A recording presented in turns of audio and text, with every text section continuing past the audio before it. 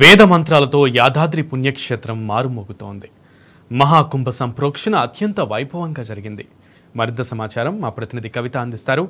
కవిత చెప్పండి మహాకుంభ సంప్రోక్షణపై మీ దగ్గరున్న వివరాలేంటి? Yes Kavitha.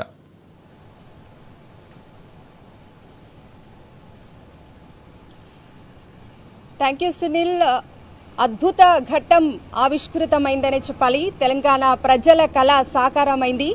ముఖ్యమంత్రి కేసీఆర్ గారు కాసేపటి క్రితమే యాదాద్రి పుణ్యక్షేత్రాన్ని పు- పునర్ప్రారంభించి జాతికి పునరంకితం చేశారు. కాసేపటి క్రితం ముఖ్యమంత్రి గారి చేతుల మీదుగా మహాకుంభ సంప్రోక్షణ అట్టహాసంగా జరిగింది. వేద్ర మంత్రోచ్చరణల మధ్య ఆ లక్ష్మీ నృసింహస్వామిని బాలాలయం నుంచి తిరిగి ఆ నిజరూప దర్శనాన్ని ఇవ్వించేందుకు పునర్ప్రతిష్ఠ చేశారు గర్భాలయంలో యాదవ మహర్షి తపస్సుతో శ్రీ మహావిష్ణువు నారసింహుని రూపంలో ఇక్కడ యాదాద్రిలో స్వయంభూగా ఐదు రూపాల్లో వెలిశాడు.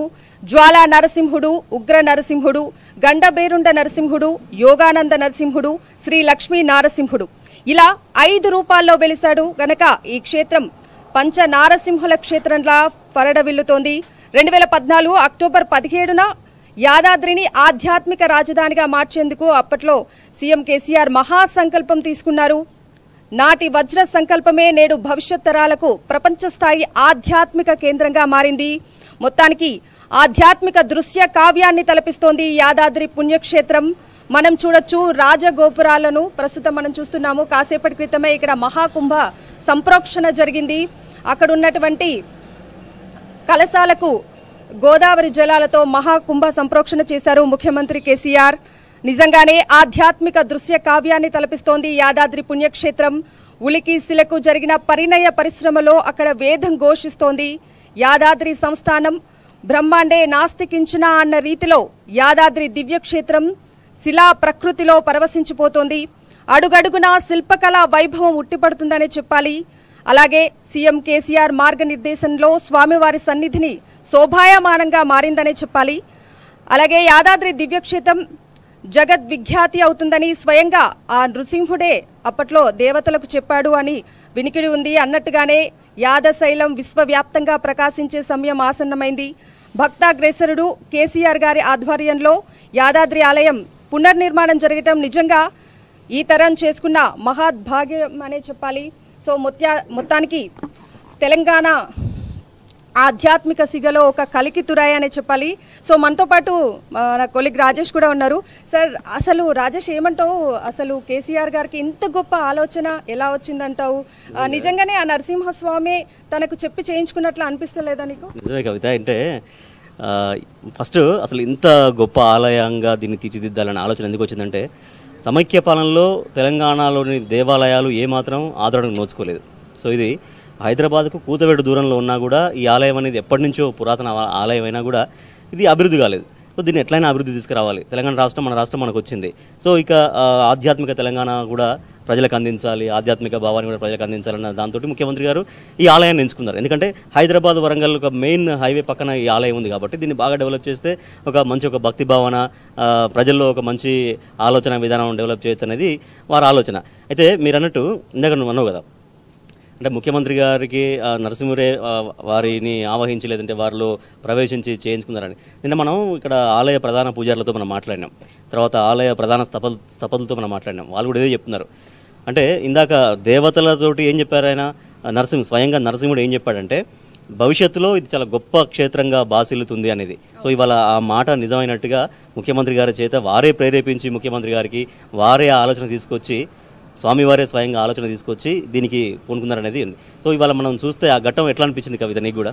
నిజంగా చూడటానికి రెండు కళ్ళు అయితే చాలట్లేదు రాజేష్. ఎంత గొప్పగా వేద మంత్రోచ్చరణల మధ్య ఎంత అద్భుతంగా చేశారో అనేది మనం మాటల్లో కూడా వర్ణించలేమేమో. అంత అత్యద్భుతంగా చేశారు. ఈవెన్ పూజలు కావచ్చు మనం యాదాద్రి క్షేత్రం చూస్తుంటే కూడా ఎక్కడ అంటే ఆధ్యాత్మిక అనే ఆధ్యాత్మికత అనేది మనకు అణువణువు కనిపిస్తోంది. ఒక్కసారి మనం యాదాద్రిలోకి ఎంటర్ అయిన తర్వాత మనం వెళ్ళే వెళ్ళే అప్పటి వరకు కూడా ఎక్కడ చూసినా ప్రతి అడుగడుగు మనకు ఆధ్యాత్మికత అనేది నిజంగా కనిపించడం కేసీఆర్ గారి మహా సంకల్పమనే మనం భావించాలి. దీంట్లో ఇప్పుడు ఈ ఇటువంటి గుడులు మామూలుగా ఇప్పుడు ఇటుకలతోటి సిమెంట్ తోటి కట్టొచ్చు. కానీ ముఖ్యమంత్రి గారు కేవలం అప్పుడు రాజులు చక్రవర్తులు కొన్ని కాలాల తర్వాత తరతరాలుగా కింద ఏదైతే నిర్మాణ శైలి అవలంబించారో ఒక పెద్ద కృష్ణశిలతోటి బండరాళ్ళను ఉపయోగించి టోటల్గా కృష్ణశిలను ఉపయోగించి అనేది మొత్తం గుడి నిర్మాణం జరిగింది. అయితే ఈ గుడి విషయం మొత్తం పద్నాలుగు ఎకరాల్లో మొత్తం ఆ ఆలయం మొత్తం విస్తరించి ఉంది. దాంట్లో ప్రధాన ఆలయం మూడు ఎకరాలు. దాంట్లో శిల్పాలు చూసారా? ఎట్లా అనిపించింది? శిల్పాలు అద్భుతంగా లేవా? ఒక శిల్పం ఇంకో శిల్పంతో మాట్లాడుతుందన్న ఆశ్చర్యం అయితే కలిగింది సీరియస్లీ. ప్రతిదీ కూడా అంటే ఎంత అత్యద్భుతం అంటే మనం ఇంకా క్యూ లైన్స్ గురించి మాట్లాడుకుంటే కాకతీయుల కళా వైభవం ఉట్టిపడేలా ఎక్కడ చూసినా కూడా మనకు విష్ణు చక్రాలు అలాగే అల్లికలు ఆ, ఏనుగుల బొమ్మలు మయూరు బొమ్మలు అన్నీ కూడా ఎక్కడ చూసినా ఆధ్యాత్మికత అంటే ఒక భక్తుడు క్యూ లైన్లో ఎంతసేపు వేచి ఉన్నా కూడా అలసట అనేది రాకుండా అక్కడ కూడా ఒక ఆధ్యాత్మిక వాతావరణం ఇప్పుడు చెప్తున్నట్టు ఒక్కొక్క శిల్పము ఒక్కొక్క పూల బొమ్మ లేదంటే ఆకుల బొమ్మ అవన్నీ కూడా దానిలో ఒక మెసేజ్ దాగి ఉంటుంది. అంటే నిన్న మనం స్థపతి మాట్లాడితే వాళ్ళ మాటలు చెప్తున్నారు. అంటే మనం జనరల్గా మనం చూస్తాం. బొమ్మలను చూస్తాం ఆకులు అవన్నీ చూస్తాం. కానీ ఒక్కొక్క దానికి ఒక్కొక్క ఇతివృత్తం అంట. అంటే ఆ భక్తి భావాన్ని అక్కడ పెంపొందించే విధంగా ఆ భక్తులకు ఇంకా మరింత భక్తి పారవశాన్ని తీసుకొచ్చే విధంగా అవి చాలా గొప్పగా వాటిని అందంగా మలిచారు. అయితే ఈ కృష్ణశిల అనేది ఇందాక మనం మాట్లాడుకుంటున్నాం కదా కృష్ణశిల అనేది ప్రకాశం డిస్ట్రిక్ట్ నుంచి వాళ్ళు పట్టుకొచ్చారు. సో కొన్ని వేల టన్నుల కృష్ణశిల దీనికోసం ఉపయోగించడం జరిగింది కదా. సో అంటే ఆలయంలో మనం తారాడుతున్నప్పుడు లేకపోతే ఆలయంలో తిరుగుతున్నప్పుడు భక్తి భావన పెంచడం కోసం ఈ శిల్పాలు అయితే ఏంటి లేకపోతే ఇవన్నీ కూడా ఈ ఈ రాయి కూడా రాయి కూడా కాలానుగుణంగా మారుతుంటుందట రంగులు మారుతుంటుందట. శీతాకాలం ఒక రకంగా వానాకాలం ఒక రకంగా తర్వాత ఎండాకాలం ఒక రకంగా అంటే మనం గుర్తించలేని రంగు. రంగు మారడం అంటే టోటల్గా ఉన్న రంగు మారడం కాదు. కొద్దిగా ఆ రాయి ధర్మం అనేది అట్లా ఉంటుందని అట్లా ఉంటుంది అనేది సో అంటే ఈ యాదగిరి గుట్ట ఇంత ప్రాశస్త్యం పొందడానికి యాదాద్రిగా మారడానికి ఇవాళ ముఖ్యమంత్రి గారు పెట్టిన సంకల్పం అనేది. సో అందరికీ ఎట్లా అనిపిస్తుంది? మామూలుగా మనలాంటి వాళ్ళకి కావచ్చు లేకపోతే భక్త కోటికి కావచ్చు ఎట్లా ఉంటుందని మీ నీ ఆలోచన? అంటే ముఖ్యంగా చెప్పుకోవాల్సింది కేసీఆర్ గారు ఏదైనా అనుకుంటే చేస్తాడు చెప్తే చేస్తాడు అనేది అందరికీ తెలిసిన విషయమే. కాళేశ్వరం ప్రాజెక్టు మనం చూసుకున్నా ఇప్పుడు యాదాద్రి పుణ్యక్షేత్రం చూసుకున్నా కూడా ఆయన ఏది చెప్పినా చేస్తారు అనేది ప్రజలందరికీ తెలిసిన విషయమే. స్వ అంటే సమైక్య పాలనలో మనం చూసుకుంటే అన్నీ కూడా ఎంత నిర్లక్ష్యం చేశారనేది తెలుసు. కానీ రాష్ట్రం సిద్ధించిన తర్వాత మనం చూసుకుంటే యాదాద్రి పుణ్యక్షేత్రం కావచ్చు ఇప్పుడు కాళేశ్వరం ప్రాజెక్ట్ కావచ్చు ఏదైనా కూడా ప్రజలకు ఎంత ఉపయోగపడుతుంది అనేది ముఖ్యమంత్రి గారు ముందే ఆలోచించి దాన్ని అంటే ఒక విజన్లో వెళ్ళటం. అన్నావు కదా కాళేశ్వరం ప్రాజెక్ట్ కూడా చాలా వేగంగా. అంటే కేవలం మూడు మూడున్నర సంవత్సరాల కాలం లోపే మూడు సంవత్సరాల కాలం అని చెప్పొచ్చు. మూడు సంవత్సరాల్లోనే కాళేశ్వరం ప్రాజెక్ట్ కంప్లీట్ చేశారు. అంటే అది కూడా ఒక ఆలయమే. తెలంగాణకి కాళేశ్వరం ప్రాజెక్ట్ అనేది ఒక ఆలయం. ఎందుకంటే అది ఒక జల భాండాగారం కాబట్టి ఒక ఆలయంగానే మనం భావిస్తాం. ఒక ఉత్తర తెలంగాణ మొత్తం వరప్రదాయానిగా జీవధారగా మారుతుంది కాబట్టి అది కూడా ఒక టెంపులే కాళేశ్వరం ప్రాజెక్ట్ అనేది. సో ఇవాళ అది చాలా వేగంగా కంప్లీట్ చేశారు. దానికి సైమల్టేనియస్గా ఇది మొత్తం ఆరు సంవత్సరాల కాలంలోనే. అంటే దాదాపుగా ఇవన్నీ మిగిలిన వర్క్స్ అన్నీ కొంచెం టైం పట్టింది కానీ అసలు యాక్చువల్గా మెయిన్ ఏదైతే ఉందో అది ఒక మూడు మూడున్నర సంవత్సరాలనే కంప్లీట్ అయిపోయింది. సో ఇట్లా ఏమన్నా పని అనుకుంటే ఖచ్చితంగా దాన్ని సాధించాలనేది ఒక మెసేజ్ అయితే అటు కాళేశ్వరం ప్రాజెక్టు నుంచి తర్వాత యాదగిరి యాదాద్రి నుంచి కూడా బాగా చాలా బలంగా తీసుకెళ్ళగలిగారు. అయితే ఇటువంటి ఆలయాలు ఇప్పుడు ఇందాక మనం శిల్పాల గురించి మాట్లాడుతున్నాం కదా. సో ఈ శిల్పాలు అనేది తంజావూరు శ్రీరంగం. అక్కడ చాలా గొప్ప శిల్ప శిల్పాలు ఉంటాయి సో వాటిని శైలుల్ని ఇక్కడ సమ్మిళితం చేస్తూ మేళవిస్తూ ఇక్కడ శిల్పకళా రీతుల్ని ఇక్కడ ఇంకోటి మనం చెప్పుకోవాలి రాజేష్. గర్భాలయం ఏదైతే స్వామివారు అంటే వెలిసారో అక్కడ గర్భాలయంని ఏమాత్రం టచ్ చేయకుండా చుట్టూ ఆ, టెంపుల్ని డిజైన్ చేయటం కట్టడం అనేది కూడా ఒక సర్ప్రైజ్ అని చెప్పాలి. ఆశ్చర్యం నిజంగానే. ఎందుకంటే కొంచెం కూడా ఆ గర్భాలయాన్ని ముట్టుకోకుండా చుట్టూ ఆలయాన్ని కట్టి ఇంత గొప్పగా తీర్చిదిద్దటం అనేది మామూలు విషయం కాదు. ఇప్పుడు అంతెందుకు? మన ఇళ్ళలో చిన్న చిన్న దేవ దేవతలు ఉంటాయి కదా. వాటిని ఒక సందర్భంలో మనం కొంచెం స్థానభ్రంశం చెందాలంటేనే చెందించాలంటేనే చాలా సవాలక్ష ఆలోచిస్తాం. దాని గురించి కొంచెం మరి అది- అది ఏమన్నా జరపొచ్చా లేదా ఇవన్నీ. అటువంటిది ఇంత పెద్ద పునః మళ్ళీ పునర్నిర్మాణం చేస్తున్నారంటే ఎన్నో ఆలోచించాలి.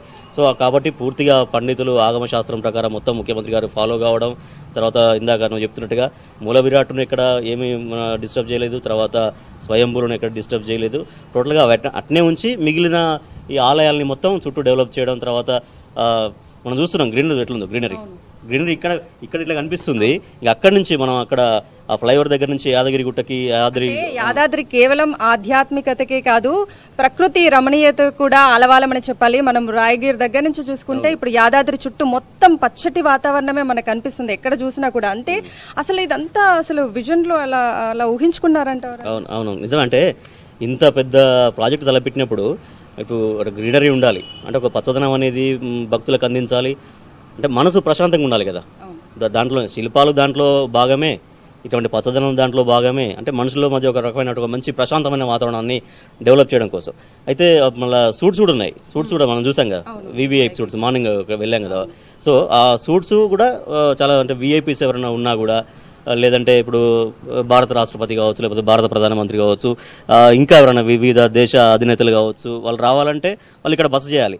ఒకప్పుడు యాదగిరి గుట్టలో అటువంటి అవకాశం ఉండేనా? లేదు కదా. మామూలుగా అసలు మామూలు భక్- భక్తులు వస్తేనే ఒక రోజు రెండు ఒక- రోజు ఉండడానికి ఉండేది కాదు. ఏదో వచ్చేది సరే ఎవరు తప్పని చేసుకున్నామా వెళ్ళామా అన్నట్టు మాత్రమే ఉండే. కానీ ఇప్పుడు బస చేసి అంటే పీస్ ఆఫ్ మైండ్తో ఆ దేవుణ్ణి దర్శించుకొని వెళ్ళే విధంగా ఆధ్యాత్మికంగా మొత్తం ఎక్కడ చూసినా కూడా మనకు ఒక మంచి వాతావరణం ఒక ప్లెజెంట్ వాతావరణం కల్పించేలా చేశారు. అప్పుడు తప్పనిసరి పరిస్థితుల్లో ఎవరైనా ఉండాలంటే చాలా ఇబ్బంది పడేది. సరే ఉన్నాయి. ఇక్కడ కూడా అవి ఉన్నాయి కానీ ఇంత ఫెసిలిటీస్ అనేవి అప్పుడు లేవు కదా. ఇప్పుడు సత్రాలు కావచ్చు అవన్నీ కావచ్చు ఉన్నాయి. సో ఇప్పుడు ఫ్యామిలీస్తో వచ్చిన వాళ్ళు ఎన్ని రోజులైనా ఇక్కడ ఉండొచ్చు. పిల్లలతో ఫ్యామిలీతో వచ్చిన వాళ్ళు ఎన్ని రోజులైనా ఉండొచ్చు. సో దీని ఇప్పుడు మనం ఇప్పుడు సూట్స్ గురించి చెప్తున్నాం కదా. సో విదేశాల నుంచి వచ్చినటువంటి వాళ్ళు కూడా ఇక్కడ బస చేయడం కోసం ఒక బ్రహ్మాండమైన సూట్స్ మామూలుగా ఉన్నాయి. అవి పొద్దున మనం చూస్తే ఎంత అద్భుతంగా ఉన్నాయి. దాంట్లో అవన్నీ చూస్తుంటే. సో దాంతోపాటుగా ఇక్కడ ఇందాక మీరు కాళేశ్వరం ప్రాజెక్ట్ అన్నారు కదా. కాళేశ్వరం గోదావరి ఎక్కడ గోదావరి ఎక్కడ యాద యాదాద్రి? అక్కడ గోదావరి నీళ్ళని తీసుకొచ్చి ఇక్కడికి భక్తులకు గోదావరి నీళ్ళతోటి ఇక్కడ పుష్కరిణిలో పుణ్యస్నానం ఆచరించేటువంటి ఒక గొప్ప సదవకాశం కల్పించిండు. నిజంగా అది ఎట్లా అనిపిస్తుంది? అంటే ఇక్కడ నీళ్ళతో సరే దేవుడు ఎక్కడ దేవుడు ఉన్నా కూడా దేవుడి పక్కన నీళ్ళు ఖచ్చితంగా పవిత్రమే. కానీ ఎక్కడో గోదావరి ఎక్కడి యాదాద్రి అక్కడి నుంచి తీసుకొచ్చినందుకు నీకు ఎట్లా అనిపిస్తుంది పర్సనల్గా ఓకే. అంటే ముఖ్యంగా ఇక్కడ చెప్పుకోవాల్సింది ఆ, జనరల్గా నాయకులు వస్తూ ఉంటారు పోతూ ఉంటారు. కానీ చరిత్రలో నిలిచిపోయే నాయకులు కొందరే ఉంటారు. ఆ కొందరిలో ముఖ్యమంత్రి కేసీఆర్ గారు ఒకరని చెప్పాలి. ఒక్కరే అని కూడా చెప్పడంలో ఎటువంటి అతిశయోక్తి అయితే లేదు. ఎందుకంటే అది జనం మాట అది లోకం మాట. ఎందుకంటే ఇంత పెద్ద ప్రాజెక్ట్ అనేది ఇంత పెద్ద టెంపుల్ ఒక నాటి రాజులు రాజుల కాలంలో నిర్మించేటువంటి అది ఇవాళ మళ్ళీ ఇట్లా నిర్మించారంటే అది కేవలం ఆయనకు మాత్రమే సాధ్యం. అది డెఫినెట్గా అది మనం చెప్పే మాట కాదు అది జనం అనే మాట భక్తులు అనే మాట. మొత్తానికైతే తెలంగాణ ఇలా వైకుంఠం పునర్ప్రారంభమైంది. తెలంగాణ ప్రజల కళ సాకారమైందనే చెప్పాలి. కాసేపటి క్రితమే ముఖ్యమంత్రి కేసీఆర్ గారు మహాకుంభ సంప్రోక్షణ అట్టహాసంగా చేసి ఆ యాదాద్రి పుణ్యక్షేత్రాన్ని అయితే పునర్ప్రారంభించారు. మరికొద్దిసేపట్లో సామాన్య భక్తులకు కూడా పంచ నారసింహుణ్ణి దర్శించుకునే అవకాశం ఉంది. కాసేపట్లో సామాన్య భక్తులకు అందుబాటులో కూడా తెస్తున్నారు. సో కాసేపటి క్రితం అయితే ఈ ఘట్టం అనేది నిజంగానే ఒక అద్భుత ఘట్టం అనే చెప్పాలి నిజంగా. కవిత ఇంకొకటి మనం పెద్ద పెద్ద టెంపుల్స్ గురించి మనం మాట్లాడుతుంటాం. ఇప్పుడు కాకతీయుల నా కాలనాడు కట్టించినవి కావచ్చు శాతవాహనులు కావచ్చు పల్లవులు చోళులు ఇవన్నీ ఉన్నాయి. పెద్ద పెద్ద పురాతన గుడులు ఉన్నాయి. అప్పుడు మన ముందు తరం కానీ ఆ తరం కానీ ఎవరు లేరు. ఎప్పుడో వెనకడ కట్టినటువంటి అవి. సో ఇప్ప ఇవాళ మనం జీవించి ఉన్నాం. ఇవాళ ఈ సమకాలీన పరిస్థితుల్లో మనం ఉన్నాం? ఉన్నాం. ఇప్పుడు ఈ టెంపుల్ను కట్టినటువంటి విధానం కూడా మనం చూసినాం కాబట్టి డెఫినెట్గా మనం కూడా చాలా లక్కీ లక్కీ లక్కీయెస్ట్ ఫీల్ వస్తాయి మొత్తానికైతే తెలంగాణ ఆధ్యాత్మిక సిగలో ఒక కలికి తురాయి అనే చెప్పాలి. యాదాద్రి పుణ్యక్షేత్రం. కాసేపటి క్రితమే ముఖ్యమంత్రి కేసీఆర్ గారు ఆలయాన్ని పునర్ప్రారంభించి జాతికి పునరంకితం చేశారు. ఇక మరికొద్ది సేపట్లో సామాన్య భక్తులకు కూడా ఆ పంచ నృసింహ స్వామి దర్శనం ఇవ్వబోతున్నారు సునీల్.